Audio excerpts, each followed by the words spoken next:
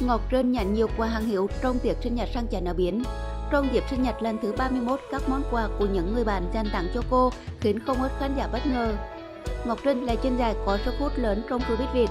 Ngoài sự nhan sắc vô cùng xinh đẹp, nữ hoàng nữ y còn có khối tài sản khổng lồ ở tuổi 31.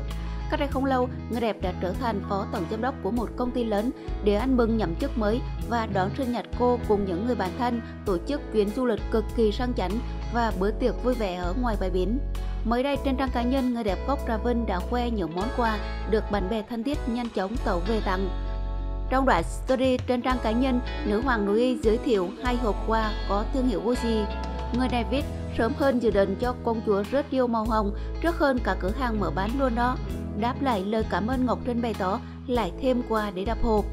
Điều này khán giả cũng phải ngỡ ngàng khi hồi bàn của cô rất mạnh tay chi tiền để săn lùng từ nước ngoài mua tặng. Được biết, chiếc túi này rất phù hợp với nhiều bộ trang phục khác nhau. Đây hứa hẹn sẽ là mẫu được các tín đồ thời trang săn đón trong thời gian tới. Được biết, quất bán chính thức với giá 1.750 USD khoảng 42 triệu đồng. Vào tối 15 tháng 9, mỹ nhân vòng eo 56 đã có buổi tiệc mừng tuổi mới cực hoành tráng bên hội bản thân như Vũ Khắc Tiệp, Quỳnh Thư, Lê Hà, nhà thiết kế Đỗ Long. Có thể thấy buổi tiệc diễn ra trên bờ biển lấy màu hồng làm chủ đạo và được trang trí cực lộng lẫy, nhiều bóng bay. Đây sẽ là chuyến du lịch để ông bầu Vũ Khắc Tiệp quay vlog cũng như kết hợp tổ chức tiệc sinh nhật sớm hơn 10 ngày cho đàn em.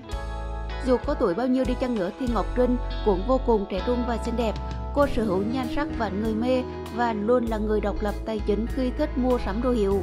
Đến thời điểm hiện tại, mỗi năm đón một tuổi mới, nữ hoàng nội y sẽ cho ra một vlog đập hộp. Người hâm mộ cũng đang nóng lòng chờ đợi một clip mới toanh của cô ở thời gian tới.